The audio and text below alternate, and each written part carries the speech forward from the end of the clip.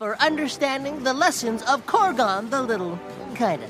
And for mastering marine biology. More or less. And for almost grasping the concepts of chemistry.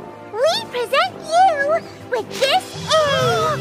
You are now officially a nerd. Mm-mm. Not yet, I'm not. Stan?